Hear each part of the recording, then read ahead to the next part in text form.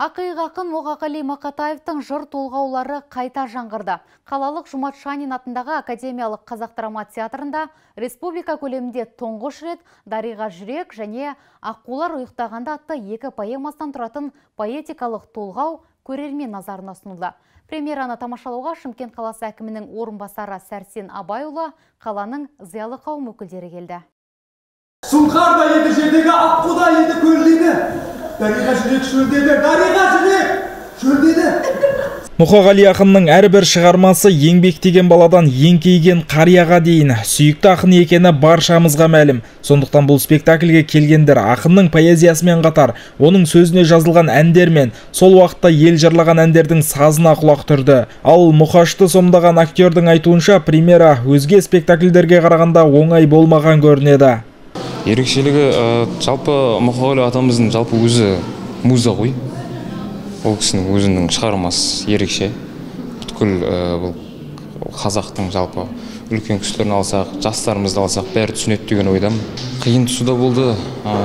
Жалпы мұқағалидың жалпы өзінің ішкі жан дүниесін беру өте ол оңай емес. Барынша енді қолдан келгенше образ жасадым деп ойлаймын енді. Режиссер бағытын берді.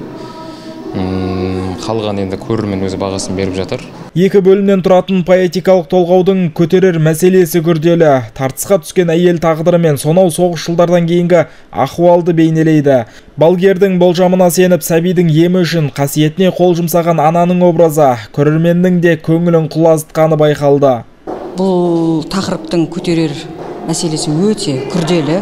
Өйткені киелі құс аққуды баласының жаңа баласы ауырып жатқан ана ғой енді. Соған жаны қиналғаннан жаңа киелі құсты атып соны әйтеуір анау палшылар айтады ғой сол аққудың қанатымен балаңды ұшықтасаң балаң жазады деп. Сол нанымға сеніп аққуды атып жібереді. Бұл жердегі ана менің басқа сомдаған аналарыма ұқсамайды. Өйткені бұл жерде поэзия ғой өлең. Мақатаевтың өлең шумақтары өте қиындау. Сол жерде бізде актер актрисалар мысалы сол өлең жыр шумақтарын оқи отыра мен солармен бірге өмір сүруім керекпін. Олар мені қалай табиғатты суреттейді аққуды суреттейді ананы баланы суреттегенде солармен бір демде мен орындап отыруым керекпін. Бұл тағы да бұл шығарманың тағы бір артықшылығы енді қуандық қасымов ағамыз қойып отыр. Бұл жерде барлығымызды бір тазалыққа сұлулыққа табиғаттың әсемдігі ананың балаға деген махаббаты жеңгесінің қайнысына деген махаббаты. Осындай бір керемет символдарды бір суреттей келе барлығымызды сондай бір тазалыққа алып келді. Ананың балаға деген махаббатын суреттейтін қойылымның режиссері қуандық қасымов. Оның айтуынша қойылым халқымызға тән болмысымызды сақтауымызды қасиетке қол соққан қадірінен айырылатынын көрсетті.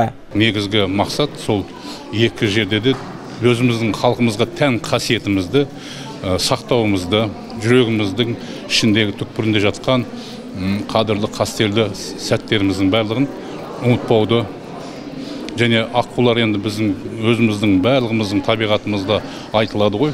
Атуға болмайды аққуға қастандық жасауға болмайды деген. Бірақ соған байланысты сол сезімдердің барлығына қол көтерген кезде қандай күйде болатыны адамдардың.